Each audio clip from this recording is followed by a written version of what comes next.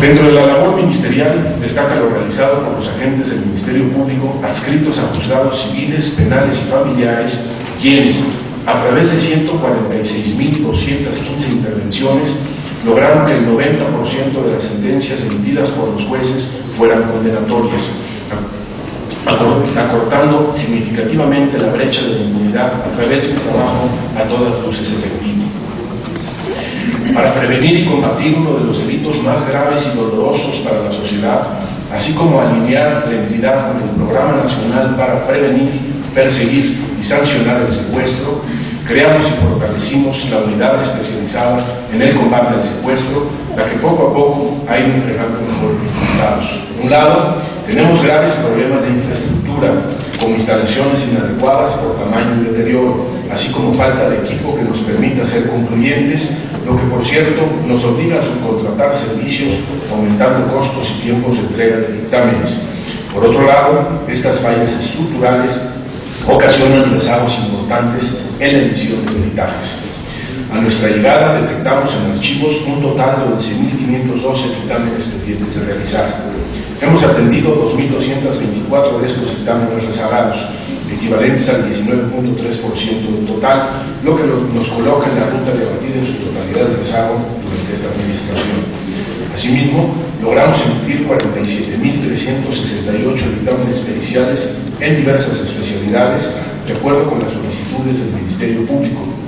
los jueces del cuerpo público, jueces del distrito. Finalmente, la Policía Ministerial puso a disposición del Ministerio Público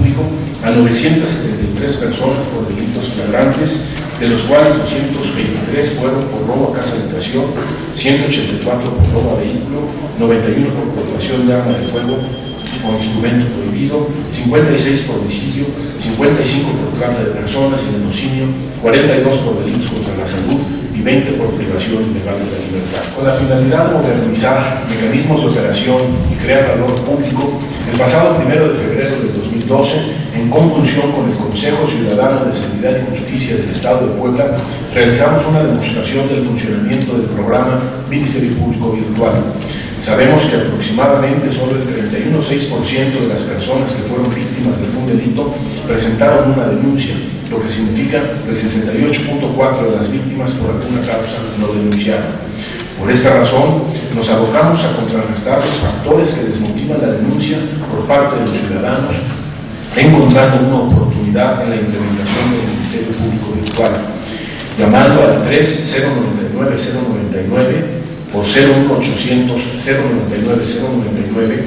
los ciudadanos podrán realizar una predenuncia por delitos que no sean graves y se persigan a petición de parte, tales como despojo, abuso de confianza, abuso de autoridad, amenazas, daño propiedad ajena, allanamiento de morada, robo simple, asalto y atraco.